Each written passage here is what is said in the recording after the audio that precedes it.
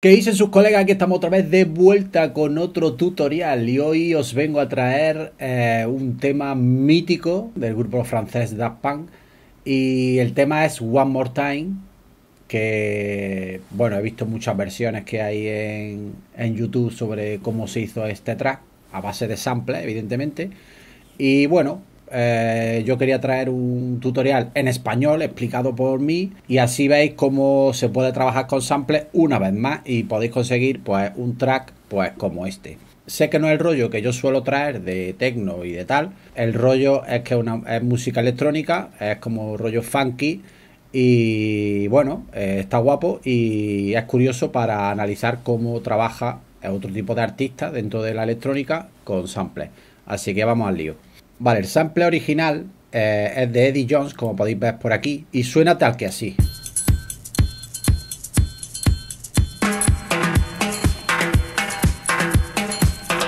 Entonces vamos a pasar directamente o vamos a buscar las partes donde están los tres trocitos con los que se componen el pam, pam, pam, pam, pam. Como estáis viendo son tres samples. Hay que buscarlos entre toda la canción. Vamos al lío. Vale, lo primero que he hecho ha sido eh, warpear el tema para ponerlo a tiempo. Lo hemos puesto a 124, que creo más o menos que es la velocidad que ellos usaron. Y bueno, ya hemos localizado los tres samples, lo he cortado aquí y vamos a ver eh, de dónde lo ha cogido y cómo lo han tratado para conseguir el, sonido final. Hemos cortado este trozo.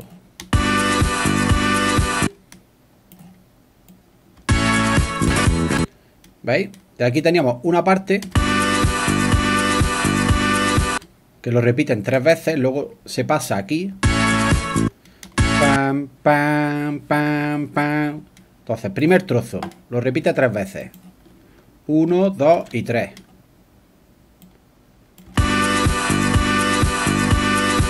Y ahora viene el cambio. Pam, pam. Pues el cambio lo cogemos de otro trozo más, más adelante o más atrás. ¿Veis? Ya tenemos ahí el primer cachito. Ahora se repite la secuencia, aquí exactamente igual.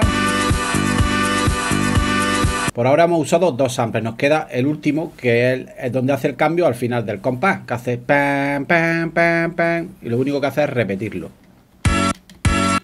¿Veis?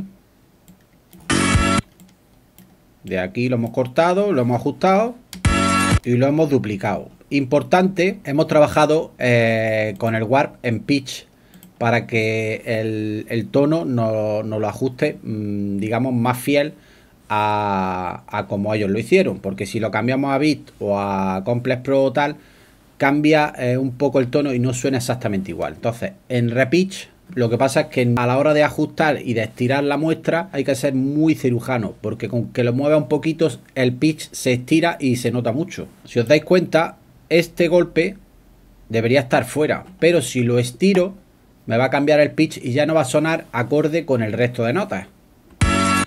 ¿Veis? Si yo lo pongo aquí, me cambia el tono y ya no me, no me, no me pega con el resto. ¿Veis? Me hace un cambio de tono un poco extraño. ¿Veis? Lo repite 1, 2, 3, 4, 5, 6 y el último cachito.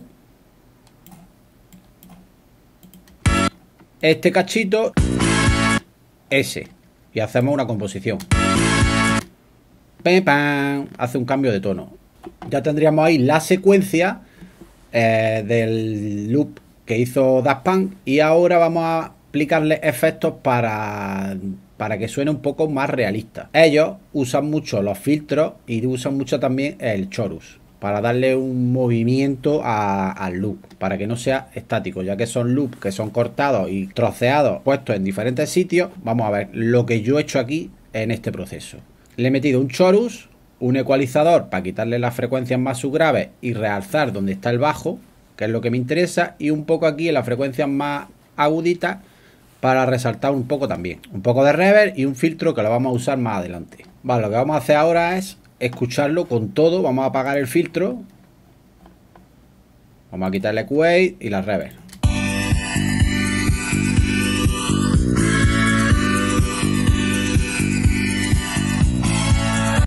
¿Veis como el choru le da como un...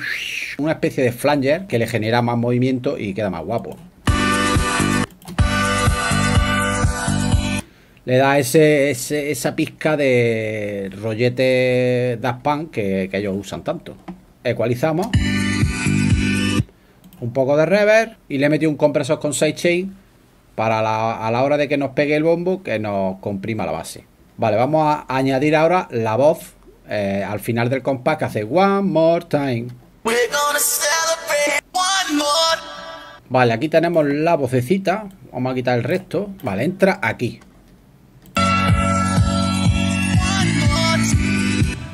¿Veis? Entra ahí la vocecita. Vamos a darle un poco más de volumen. Le metemos un poco de reverb. Y ya tenemos eso. Vamos a añadirle un kick, vamos a añadirle un hi-hat y vamos a añadirle unos cuantos loops para rellenar la base.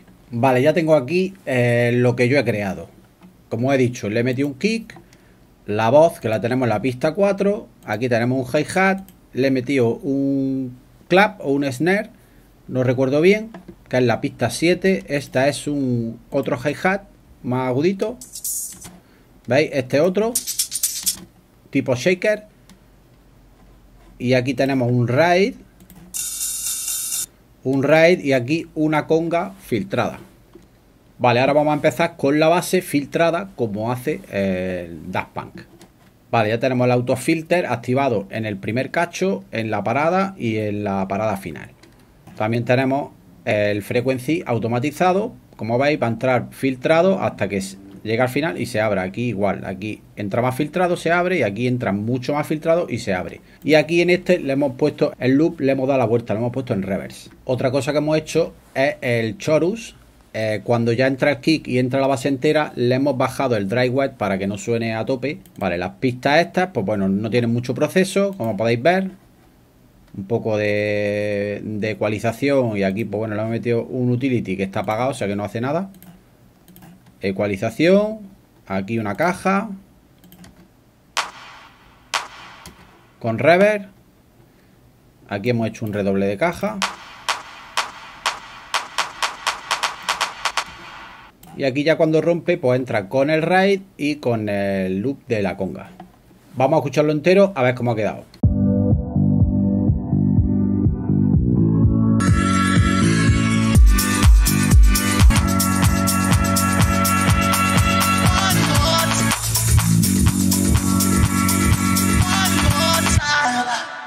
Y eso sería todo. Así hizo Daft Punk su super hit One More Time, como también tiene otros tracks que hizo sampling y, también fueron hits y los sacó pues, de temas eh, así antiguos. Si os mola este tutorial y queréis que haga otro track así de Daft Punk, eh, queréis que lo traiga en forma de tutorial y, lo, y lo desmenucemos a ver cómo lo hizo, pues me lo ponéis en comentarios, que vea yo que, tiene mucho apoyo y que realmente lo queréis ver. Y si es así, pues me lo curro, lo traigo y os lo comparto. Así que nada, espero que te haya molado. Dale muchos likes, muchos, muchos. Sé que solo le puedes dar uno, pero seguro que tienes más cuentas con el de tu primo, el de tu abuela, el de tu perro, el de tu vecino de arriba, el de tu vecino de abajo, el de tu vecino de la derecha, el de la izquierda, las cucarachas de, de abajo del sótano, en fin todos esos que le den a like, que se suscriban, que se suscriban, subscribe y dale a la campanita para que te avise cuando suba otro vídeo y así no te lo pierdes.